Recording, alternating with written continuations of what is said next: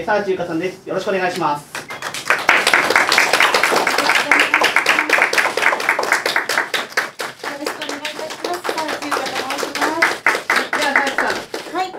ご挨拶お願いいたします。はい、えっ、と今日はね雨の中本当にお忙しい中皆様お集まりいただきまして本当にありがとうございます。どうぞよろしくお願いいたします。ピーナスバイで頑張りたいと思います。はい、はい、ありがとうございます。はい。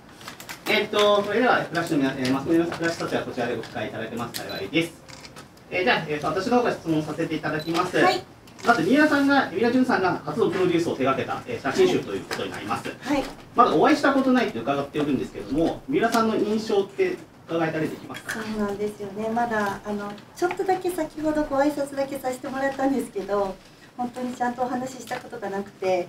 えー、でもあのクリエイティブの本当にサブカルの巨匠がなぜか日の当たらない私を あの脚光を浴びせていただいたっていう感じで、えーと、非常に恐縮しております。はい、はい、ありがとうございます。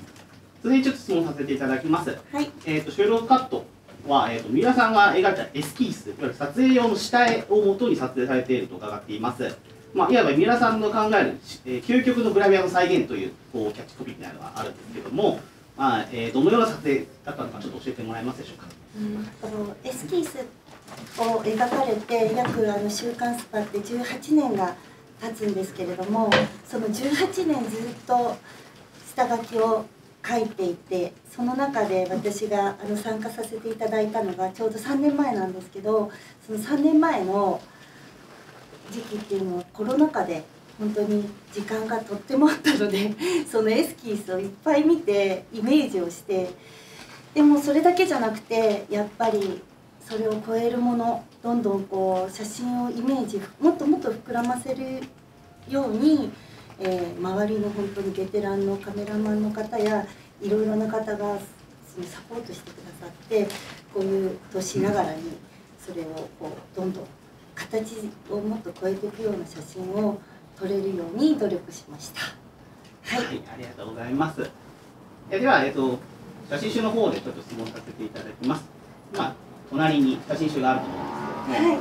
お気に入りのページがあればちょっと教えていただけないでしょうか？はい。全部本当にすごくお気に入りで、この写真集っていうのはあの露出がそんなにすごくないんですけど、いつも私はどちらかというとこう巨乳巨乳が売りなんですけどとってもお尻が素敵に写されていまして一番好きなのは食い込みが激しい黒のボンテージがあるんですけどこの辺の写真とかが大好きでちょっとあの三浦さんの描くブディストのような煩悩の世界が あの食い込みと煩悩っていう 世界をイメージさせていただいたんですけど勝手な妄想ですいません。作品を購入悩まれてるファンの方もいらっしゃると思うんですけども、はい、その方に何かおすすめのポイントとかあれば教えていただけないでしょうか？はい、えーと、このグラビア写真集は本当に特別な写真集だと思ってまして構成が本当に三浦さんがすごく時間をかけて考えてくださったっていうこともあってあのドラマチックですしあとはあの女性の方にももうグラビア辞典みたいな感じであの脱いでないんですけどそれが一つ一つの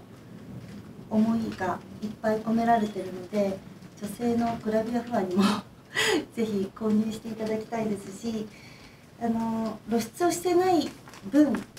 よりエロティックに仕上がっております。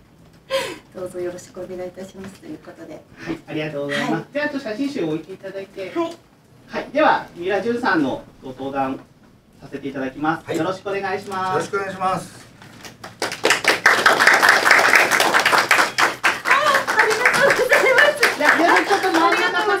あの、渡してる人の写真撮らさせていただければ。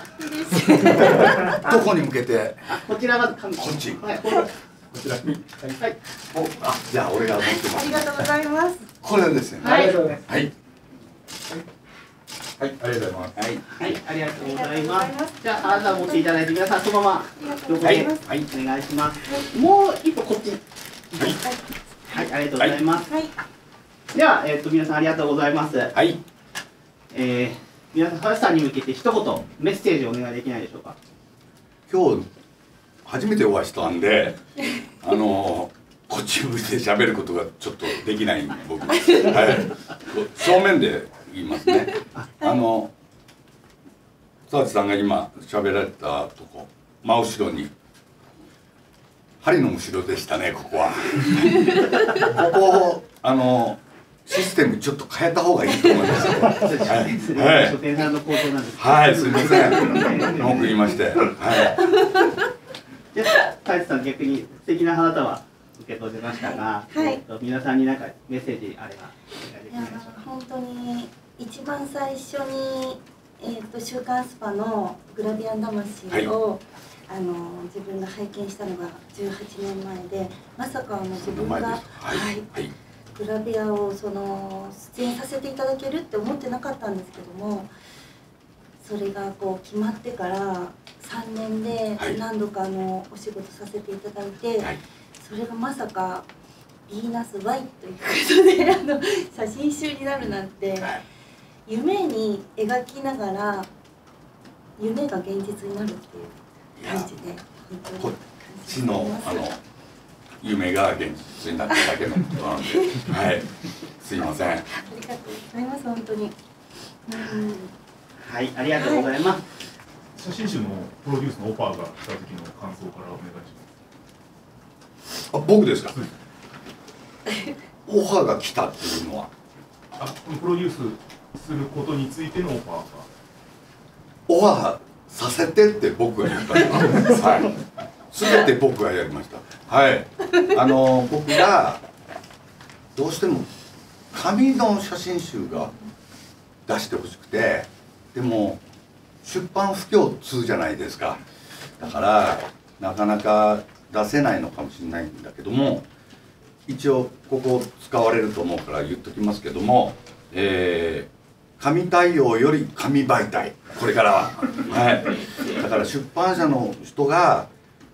紙媒体の写真集をもうそろそろ出さなくなってきてるから今一度ねここでね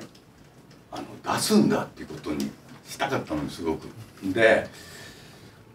出せんだっていう事実を作れば他の方もねまた出すかもしれないからでもどうしても澤地さんの紙の写真集が僕はすごい欲しくて、うん、あのここで売ってたら僕買ってた口なんで 出てないから作ったっていうことなんですよねでもそれで出版社の人にまあ苦労かかるのはこれからだからそれ以降は僕はもう逃げます。はい。ここまではやります。はい。その話を聞いて澤さんいかがですかこういう写真集だはいあのもともと本当に紙が好きで雑誌が好きでグラビアが好きで写真が好きでやってきてで何事もこういい時も悪い時も続けることが大事だと思ってるんですけどもそこをその見出してくださったそこをプロデュースしてくださった気がするので出したからには頑張って告知してあのいいものを作っていただいたって本当に思ってるのでそこに自信を持ってあの人生をこの棺桶にね全部あのこのヴィーナスバイをあの敷き詰めて死のうかなって思ってるんでその前にこれが先に来るから僕がやりますそれは。はい、はい、あのとても気に入ってます。はい。ありがとうございます、はい、三浦さんは、そこまで紙の写真集にこだわる一番の理由は何ですか？うんそこ聞きますよねやっぱりね。そうですよね。僕ね写真集をスクラップに貼るのが好きなんですよでデジタル写真集のやつをまあプリントしてもらって貼るのはねやっぱりちょっと違うんですよね。解像度もまあだいぶ最近クオリティ上がってると思うんですけども紙特有のあの深さみたいなやつはやっぱり出ないデジタルでは絶対。うん。だからまあ写真集って僕もよく神田来て買ってんですけどまあ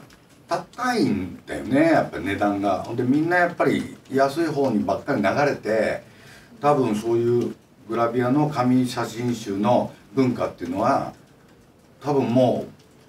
うほっといたら終わると思うしもう今出版社もデジタル部門の方がメインになってるからそこはちょっとここにいるあの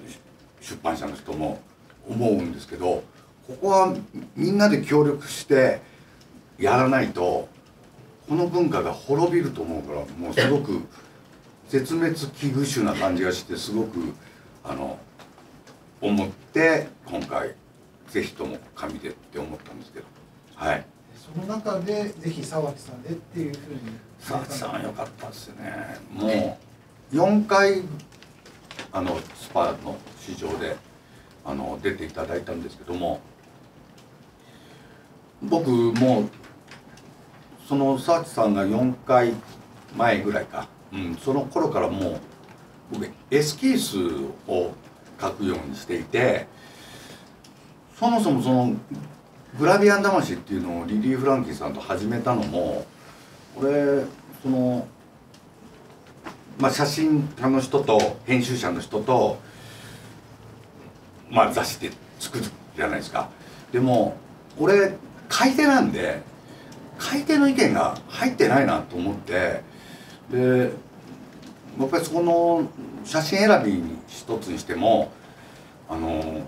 まあマネージャーの人がこれダメだとか罰つけるのが意外といいやつがあるんですよあれ。うん。でもそういうちょっと割と生々しいっていうかリアリティのあるやつをどうにか世に出せないかなと思ってまあもともとグラビアの魂っていうのを始めたんですよ。だから設定とか写真選びとか俺とリリーさんが全部やってるんですけど沢地さんはもうそれ以上でちょっとそれ以上のことをしたくて辛抱たまらなって エスキースっていうまあ下書きなんですけどね。でも下書きって言っても俺のやつは後ろにもう注文がいっぱい書いてあってここ薄蔵とかいろいろ大概薄蔵で、うん、大概が後ろでなってるのが多いんですよ。まあまあ俺の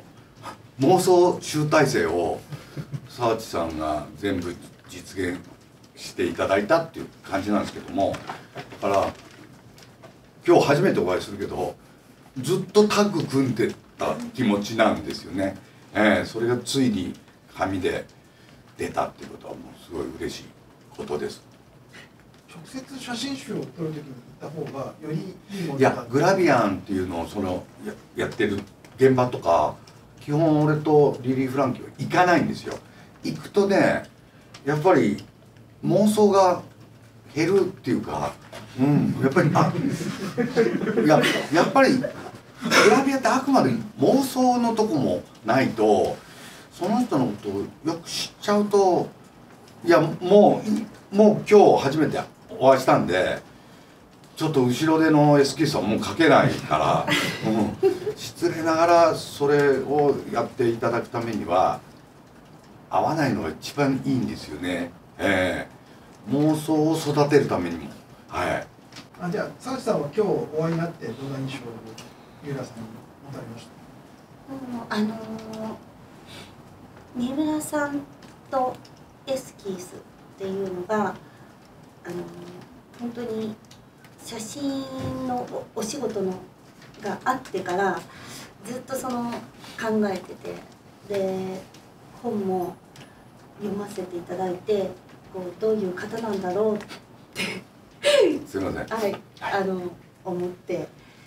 あの今日出てくる時最初はあのあなたのあのエロスクラップですって出ようと思ったんですけど なかなかそれもできずにちょっと冗談聞かないで友達にあのあのお話をしちゃったんですけどもあのまあだからエスキースって言いましたけどエロキース。エロキースを、はい、のイメージででそれこそ本当にお会いしたことがないからこそどんな人なんだろうって思いながらそういう私のような年齢とかとても日が当たらない普通のグラビアでは日が当たらないような私のところに注目してくれてましてやあの胸を売りにしてるのに、写真集のお尻とかあの普通の方があんまり見てない部分を今回写真集に敷き詰めていただいてっていう感じで、とてもあの衝撃でした。ありがとうございます。ありがとうございます。あのだからスパで載せた写真以外のやつをメインに使っているのでもっとなんか生々しい感じのやつを選んだつもりだし選びに関してはあの写真が入った大量にありましたんででももう一日もかかりませんでした。はい。もうすぐにすぐに選んですぐにできてすぐに並べて編集者の来た何ページぐらいっていう本も知らなかったんですけどもはい。その枚数も見事ぴったりでした。はい。すごいことだなっていうのは僕だけが思ってます、はい、三浦さんのおすすめのショットがありましたらぜひ教えていただきたいんですが。いやもうもちろん全部なんですよね、はい。で一応あの俺はとりあえずあのエスキース書いて選ばせてもらったっていう立場なんでここ本当プロデュースってかかってんの心苦しいんですけどここも帯も全部俺がやりましたんで、はい、全部やってるんですよ。でここの黒とかもう全部やってますんでで唯一自分を出すのがねやっぱりファンの方に失礼なんで僕なんか写真集昔からよく買う方なんでそのグラビアン魂でもこうよく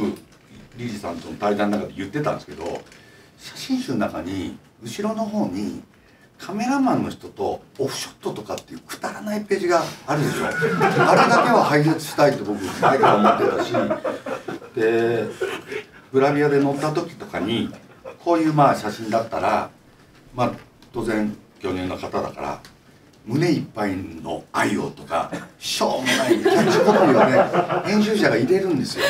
でもうそれだけはもうもう廃絶して死にたいともう思ってたんですよ。だから自分がどこどこまで関与するかっていうのがすごくあのあれだったんですけど僕はあの多分誰も気が付いてたと思うんですけどこの中の本表紙に俺が書いたエスキースが全部入ってますこれ。これがそうです。ここだけです。俺が多分登場したの。はい。だから気に入ってるっていうか。でもねこの表紙のやつもいいじゃないですか。すごくね。写真集の出来栄え何点ですかっていう質問をさせていただけないでしょうかなるまず橋さんから。はい。もう写真集になると思ってなかったので120点です。はい、あの時間もすごく写真集以上に時間をかけて写真が撮られてますのですごいあのボリューミーがボリューミーです。ありがとうございます皆さんはじゃあ写真集になると思ってませんでしたので 220点ぐらい そんな感じです、はいありがとうございます写真集出てなかったら自分で多分作ってったと思います、はい、勝手に。橋さんの魅力を一言でこうなんか教えてもらえたりできたりできますかね？でもねこの写真集はなんか意外なとこが出てると思うんですよね。だからあのそのデジタルで写真集作られてることも見せていただいたんですけども多分ねこれ他のとこだったらやっていただけないことやってるんで、うん、今日まず最初に開口一番楽屋行って謝りました、はい、そんな写真集です。トークショーとか参加されるお客様実は後ろにいらっしゃってて、はい、その方ファンとか向けに一言伝えたメッセージお願いできますかあの本当にこのね平日のこの時間にえっ、と会社をね早めに切り抜けてくれたりお休みしてくれたりとか大変な思いをしてこの時間を過ごしてくださることっていうのに本当に感謝してます。えっとたくさんそれにあの負けないすごい写真集ができたので楽しんでいただけたらなと思ってます。どうもありがとうございます。ありがとうごありがとうございました